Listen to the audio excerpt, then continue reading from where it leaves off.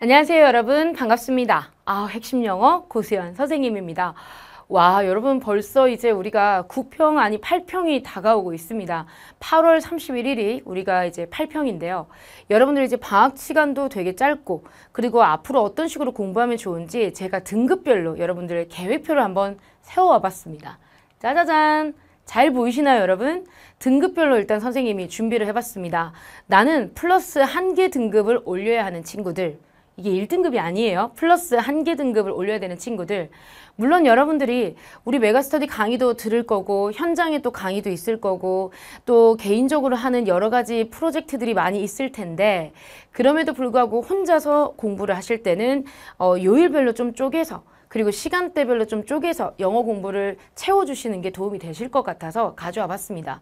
이런 것을 정확하게 하셔도 되고 그 다음에 여러분들이 또 개인의 사정에 따라서 요일을 조금 바꾸셔도 되는데 제가 일단 상담을 해본 결과 많은 친구들이 하루에 영어에 쓸 수 있는 시간이 한시간 정도였어요. 그러면 그 한시간을 오로지 영어에만 사용하기 위해서는 그 짧은 시간을 되게 의미 있게 쓰셔야겠죠. 그러면 한 개 정도 등급을 올려야 되는 친구들은 보통 어떤 게 많이 부족할까요?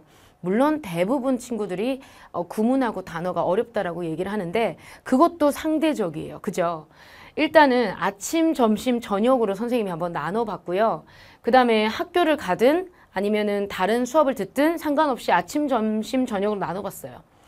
아침은 취약 과목을 무조건 하셔야 돼요. 왜냐하면 저도 그런데 공부를 할 때는 보통 자기가 좋아하는 과목부터 하기 나름인데 자기가 좋아하는 과목은 보통 잘하잖아요. 그러다 보면 못하거나 또는 조금 더 공부가 필요한 보충이 필요한 영역들이 뒤로 자꾸 밀려나는데 그러다가 하루가 끝나요. 그러면 못 끝내고 계속 그런 날들이 지속이 되거든요. 그러면 성적이 실제로 올리기는 힘들죠. 나는 공부를 한다고 열심히 했는데 잘하는 것만 했으니까. 그래서 일단은 우리가 취약 과목은 오전에 해주자. 그럼 오전에 뭐 할까? 제일 하기 싫은 날이죠. 공부하기 싫은 날, 월요일. 더 전날 배운 독해 지문에서 몰랐던 단어나 표현을 정리하셔야 돼요.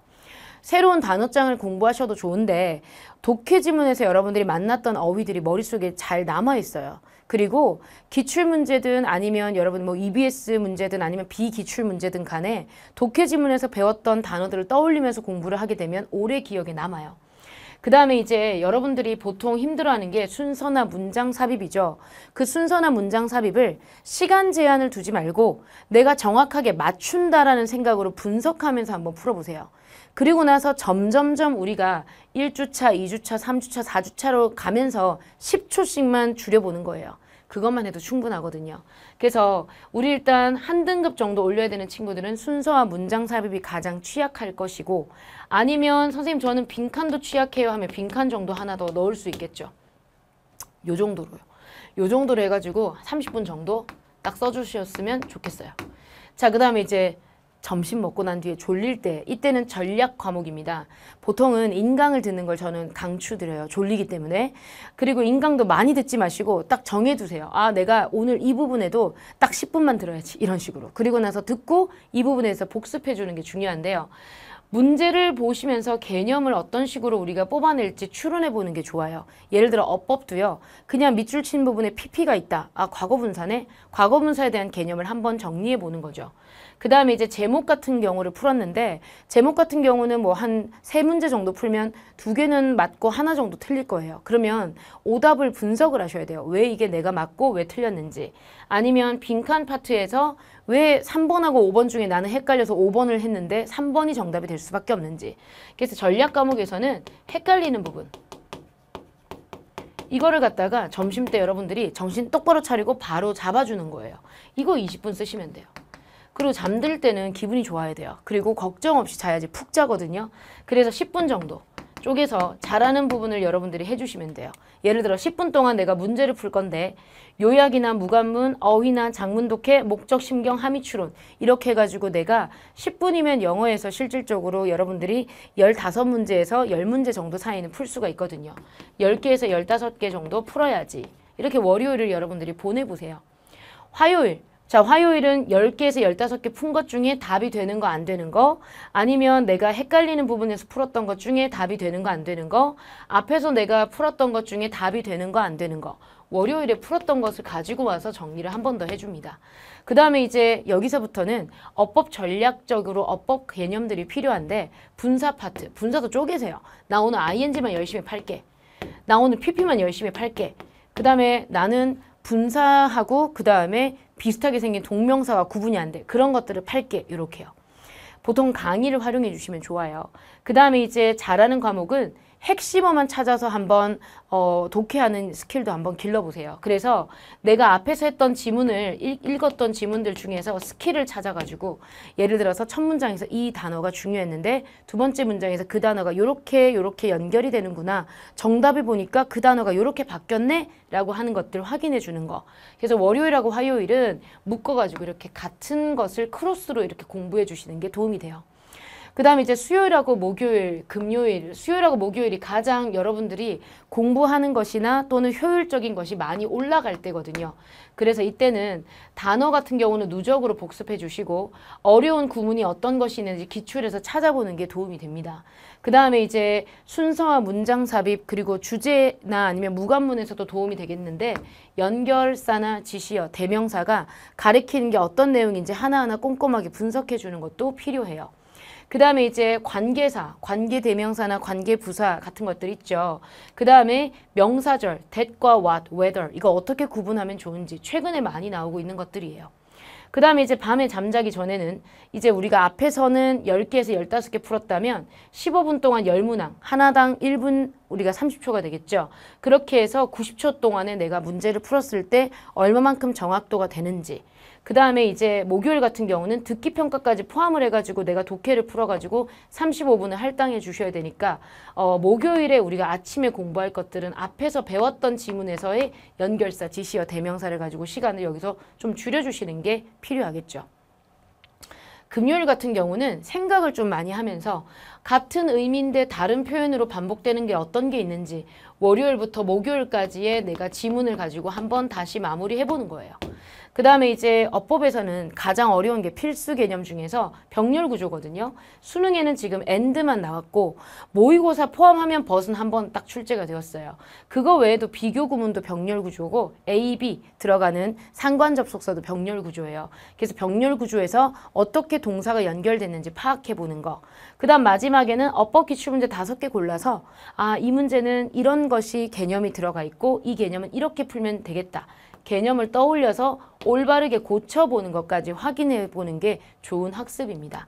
여러분이 구평을 앞두고 있기 때문에 이 컨텐츠는 6월 학력평가, 그 다음에 뭐 6월 어, 모평, 9월 모평, 그리고 11월 달에 봤던 수능 기출 이렇게 세 가지를 합쳐서 이렇게 정리해 보는 게 훨씬 더 도움이 되세요. 그 다음에 이제 토요일이에요. 토요일은 여러분들이 현장 강의도 많을 거고 그 다음에 또 밀린 공부를 또 보완해야 되는 것이 많기 때문에 일주일에 했던 거 정리해 주는 것으로 가볍게 잡고 그 다음에 전략 과목에서도 수일치 요거는 강의 없이 문제만 여러분들이 푸셔도 되죠. 그 다음에 이제 마지막에 잠자기 전에는 듣기 평가를 한번 풀로 풀어보는데 어, 도전 16번하고 17번은 한 번 듣고 풀어버리시면 1분 15초라고 하는 어, 시간이 여러분한테 플러스 알파로 생기게 돼요. 그럼 우리가 독해에서 문제 하나 더 읽을 수 있거든요. 이렇게 정리를 해보면 어떨까? 토요일은 없어요, 영어. 그냥 이 빵꾸된 부분은 내가 못했던 거 찾아서 여러분들이 풀어보시고 실전 모의고사를 한번 풀어보시면 좋을 것 같아요. 독해만. 그래서 18번부터 그 다음에 45번까지 여러분이 쓸 수 있는 시간은 45분 정도 되거든요. 45분 안에 풀었을 때 내가 시간은 얼마나 되고 정확성은 얼마나 되는지 그래서 여러분들이 잡았을 때 일주일 동안에는요. 최소한의 양으로 계획을 짜셔야 돼요. 그래서 100% 내가 달성을 해야겠다. 요게 여러분들의 목표입니다. 다른 과목도 중요한 게 많고 해야 될 게 많기 때문에 최소한의 양으로 조금씩 조금씩 일주일을 나눠서 공부한다라는 개념으로 접근하시면 감도 여러분들이 유지할 수 있고 성적도 올릴 수가 있습니다. 자, 이제 이제 두 번째. 나는 플러스 두 개 등급을 올려야 되는 친구들 있죠. 자, 이런 친구들은 다르지 않은데 무조건 하루에 30분씩 요 타임, 요 타임, 요 타임. 그래서 1시간 30분씩 여러분들이 확보를 해주시는 게 도움이 됩니다. 앞에랑 다를 게 없는데요. 이제 월요일, 그 다음에 화요일 이렇게 전날 우리가 배웠던 독해 지문에서 몰랐던 표현들 전날이라 하면 여기서 일주일 동안 공부했던 거 복습을 할 때 내가 또 외워야 되는 것들 있죠. 포스트잇 같은 걸로 정리를 해서 외웠던 건 빼고 안 외워지는 것만 남겨두시면서 시각화하면서 공부하는 것도 도움이 돼요. 그 다음에 이제 어법 제목 빈칸 요런 데서 우리가 문제를 통해서 개념을 숙지한 개념을 한번 활용해 보는 연습 그리고 마지막에 좀 여러분들이 수월하고 잘하는 것에서 요약문이나 무관한 문장 어휘나 장문 세트형, 목적, 심경, 그 다음에 조금 어려운 함의 추론 요 정도를 여러분들이 정해놓고 정확하게 문제를 내가 얼마만큼 접근하고 소화하는지 한번 보세요. 그리고 난 다음날 아침에 왜 이건 답이 되고 왜 이건 답이 안 되는지 여러분들이 한번 어, 풀어보시고요. 난 모르겠는데요. 그럼 선생님한테 질문 게시판 남겨주세요. 몇, 몇 번, 몇 번, 몇 번 모르겠어요. 이렇게. 그러면 쌤이 알려드릴게요. 그 다음에 이제 필수 개념. 여러분들은 분사, 관계사, 명사절, 병렬구조 앞에 1등급 플러스 하는 친구들하고 똑같아요. 이렇게 나눠가지고 어법을 잡아줘서 3점을 확보해도 등급이 오를 수 있어요. 그 다음에 이제 우리가 앞에서 배웠던 답이 되는 이유, 답이 안 되는 이유를 했으면 핵심어를 찾아서 빠르게 읽기를 한번 해보세요. 자, 그 빠르게 읽기를 했는데도 불구하고 모르는 단어들이 또 나올 수 있어요. 그 단어들을 수요일 날 누적해서 복습을 하시면 됩니다. 됐죠? 그래서 여러분들은 사실 월요일, 화요일, 수요일 오전까지는 같은 개념이 계속 도는 거죠. 그 다음에 이제 관계사에 대해서 여러분들이 필수적으로 정리해 드리고 그 다음에 열 문항을 20분 안에 내가 풀어보는데 정확하게 얼마나 되는지 할 수 있다면 90초로 도전을 해보시는데 여기서는 정확성이 더 중요하기 때문에 20분 재고 여러분들이 한번 풀어보세요. 어, 어떤 것들을 많이 하시면 되냐면 대입 파악 문제. 그래서 번호로 따지면 18번부터 그 다음에 30번 그 다음에 35번, 그 다음에 41번부터 45번 이렇게 한번 풀어보시는 게 도움이 돼요. 제가 여기 오른쪽에도 적어놨죠. 그 다음에 이제 이런 것들을 푸시고 연결사, 지시어, 대명사 이런 것들은 순서 문장 삽입 파트에 보통 많이 들어가 있어요. 근데 그 외에도 제목 파트에도 들어가 있고 빈칸에도 들어갈 수가 있어요. 이런 것도 한번 찾아서 뭐를 나타내는지 파악을 해보시고 그 다음에 그날 밤에 목요일 날 잘 때는 어, 독해 15개 듣기 평가를 같이 포함시켜가지고 40분 안에 나만의 어떤 뿔 모의고사의 형태로 만들어가지고 풀어서 기록을 한번 해보세요. 자, 그리고 나면 이제 여러분들이 풀었던 내용들 중에서 18번부터 30번, 35부터 40번에 보통 다 대입 파악이기 때문에 같은 의미가 다른 표현으로 반복된 것들이 있을 거예요. 그런 것들을 체크해 주시고요. 나는 이거 다 했다. 그러면 이제 31번부터 34번까지 빈칸 추론을 하나씩 하나씩 하루에 두 지문씩이라도 정리하는 것도 도움이 돼요.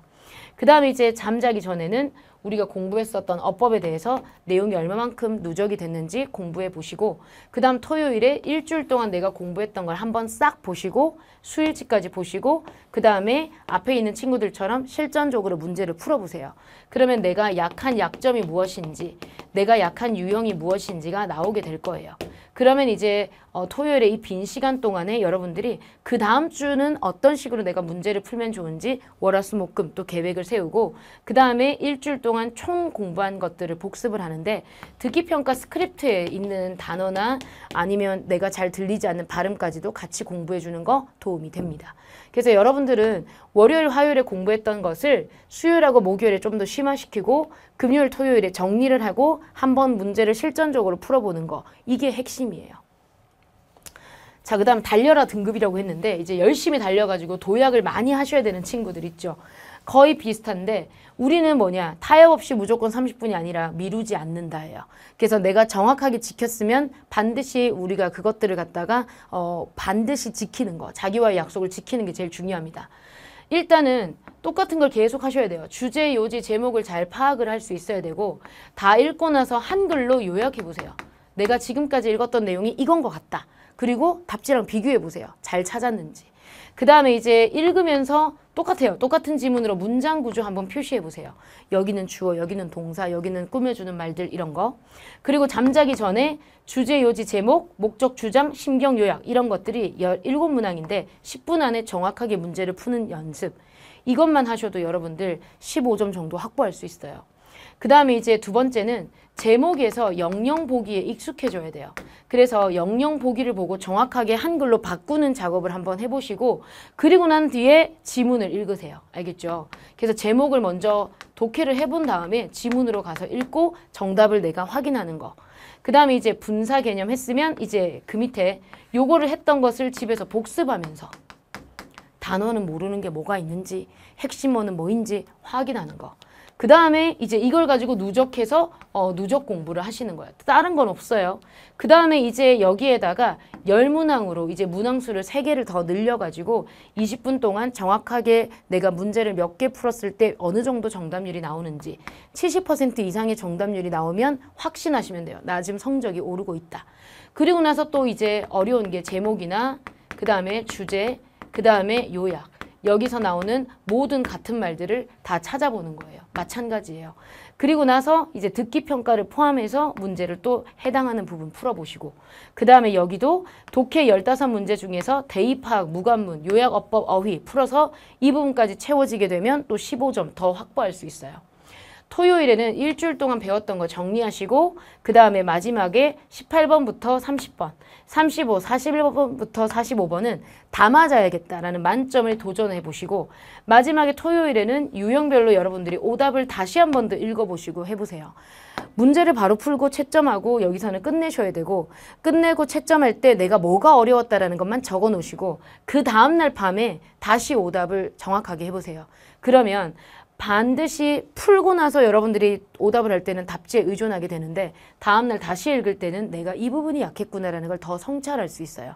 그리고 나서 그 다음 날에는 제목과 요약문이 조금 더 이제 문제를 좀 더 많이 늘린다거나 아니면 시간의 정답률을 늘린다거나 항상 요지 파트를 먼저 하고 난 뒤에 빈칸 파트 그리고 난 뒤에 순서나 문장 삽입 그리고 난 뒤에 전체 풀 이렇게 천천히 해 가셔야 돼요. 그래서 여러분들은 모의고사 문제가 나와 있는 18번부터 45번까지 순서대로 그 유형을 내가 확실하게 파악한다. 이렇게 어, 전략을 삼으시고 오늘 배웠던 단어가 내일에도 그 다음 날에도 그리고 일주일 동안 내가 확실하게 숙지하고 갈 수 있도록 전략을 세워주시는 게 도움이 됩니다. 그래서 여러분들이 이렇게 공부를 하실 수 있도록 선생님이 요거 어, 출력해서 여러분들이 적을 수 있게끔 PDF 파일로 올려드릴 테니까 어, 우리가 구평 전까지 완벽하게 여러분의 약점을 없애도록 그렇게 공부하시면 등급 향상을 여러분들이 노릴 수가 있습니다. 자 여기까지가 선생님이 아 구평 대비 어떤 식으로 학습하면 좋겠다라고 알려드린 거고요. 이제 학습하는 것은 여러분의 몫입니다. 열심히 우리가 시험을 보고 등급 향상까지 노리게 된다면 11월 수능 그날까지 더 힘차게 달릴 수 있지 않을까 싶습니다. 싶습니다. 자, 여러분 그때까지 열심히 공부하시고 또 궁금한 거 있으면 질문 게시판에 남겨주세요, 여러분. 자, 그럼 저는 여러분을 뒤에서 응원하고 있겠습니다. See you later.